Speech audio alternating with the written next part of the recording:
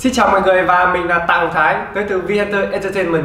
Hôm nay chúng ta hãy cùng đến với một số động tác cơ bản của bộ môn shuffle dance. Mọi người cùng đón xem nhé.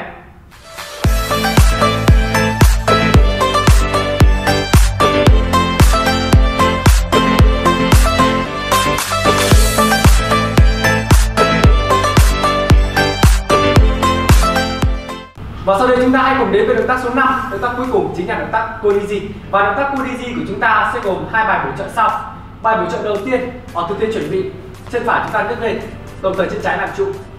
Bước số 1 Chúng ta bằng đồng thời chân phải đưa về đằng trước và chân trái lùi về sau. Và chân phải chúng ta kiễng mũi lên. Bước số 2 Chân phải thu về và chân trái co lên. Giống như động tác running man số 1 của chúng ta. Và bước số 3 chúng ta sẽ làm lại như bước số 1 Và mũi chân kiễng lên.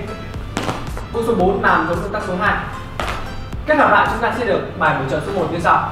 5, 6, 7, 8 1, 2, 3, 4, 5, 6, 7, 8 Tiếp theo chúng ta hãy cùng đến với bài bổ trợ số 2 Bài bổ trợ số 2 của chúng ta như sau. Động tác số 1 và động tác số 2 chúng ta làm giống như bài bổ trợ số 1 Tư thế chuẩn bị.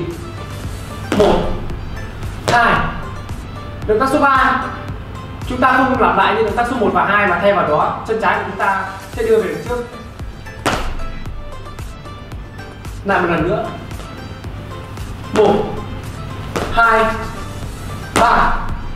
Sau đó chúng ta sẽ xoay sang bên phải và tiếp tục. Một, hai, ba.